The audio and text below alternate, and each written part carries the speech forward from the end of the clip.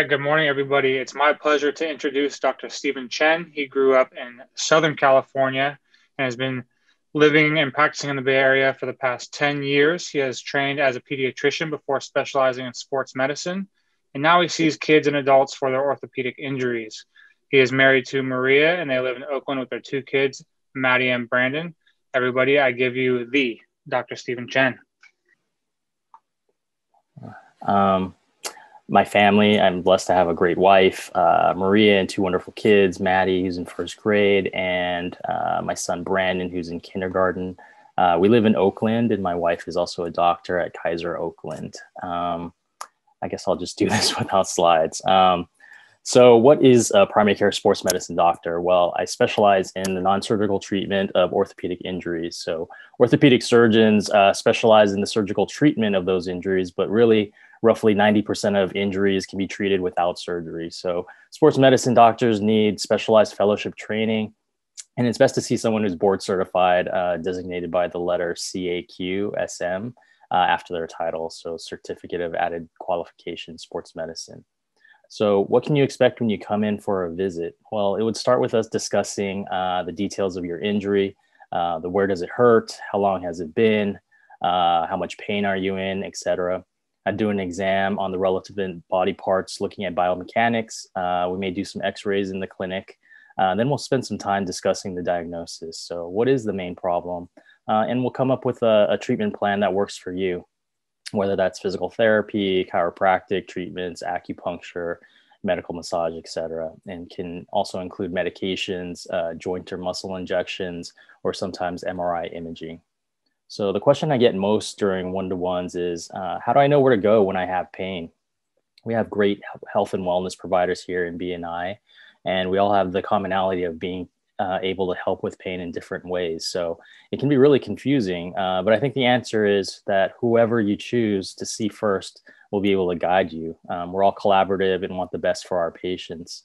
As for myself, uh, I kind of view my role in an injury almost like a general contractor of a project. So, you know, just like Reggie would guide a project, bringing in specialists like Jesus, uh, Stephanie, Gary, etc.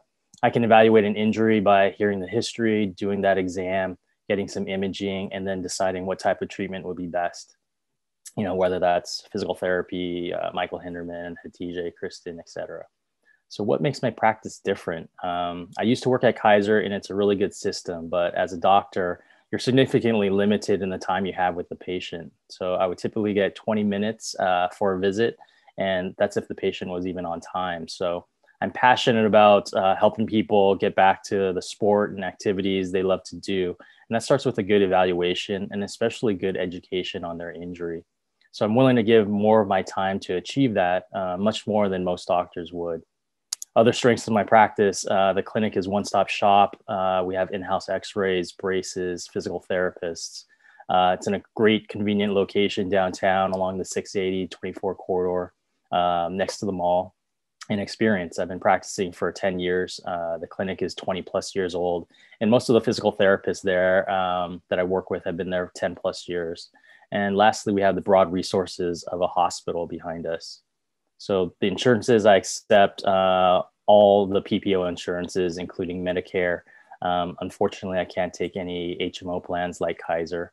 Um, uh, I had some slides about cases. I'll just kind of talk through them uh, just to give an idea about the type of things that I see in my practice. So, case one is a high schooler um, soccer player who collided with another player, fell to the ground, complaining of headaches, feeling foggy.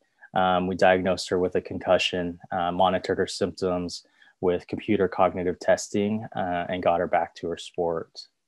Uh, another case is a 48 year old man with chronic ankle pain in the Achilles tendon, uh, spreading into the calf. So, no specific injury, uh, described it as tight and bothersome. He loved to play pickleball. Uh, we did some PT and there was some improvement, but no resolution. So we did an MRI, uh, which showed some degeneration of that Achilles tendon. I got him to Hatice and he did awesome after that. Um, case three, a 55 year old man doing a DIY project fell off a ladder. Uh, he couldn't lift his arm much at all. Uh, got an MRI, saw a partial rotator cuff tear.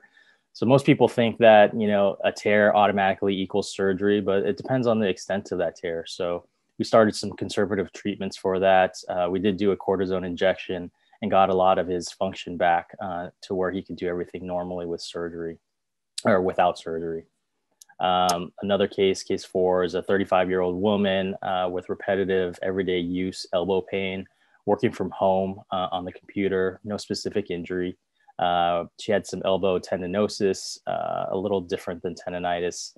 Um, it was stubborn, but improving with bracing and PT. And we were last discussing some chiropractic treatment uh, with ART.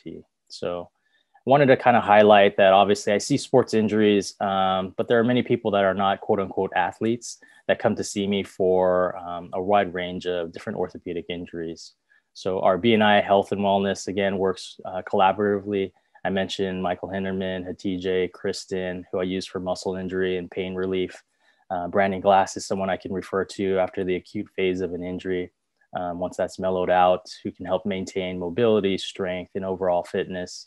Rebecca Walker, someone I can refer to for nutritional advice, uh, and that can help with overall wellness and boost healing potential. Uh, Trina, someone I can help out. Uh, I can ask to help with mental health aspects. That's also an important part of physical healing. So, as well as others in our uh, sphere. So my website is eastbaysportsdoc.com. It has a lot of information about me, the clinic, as well as all the types of injuries I can take care of. Um, I've had one-on-ones with most of the people in the group, but I'd like to make sure I talk to everyone. So please reach out if you have a one-to-one, uh, if if you have time for a one-to-one. If I haven't quite gotten to you yet, so thanks a lot. Sorry about the technical difficulty there.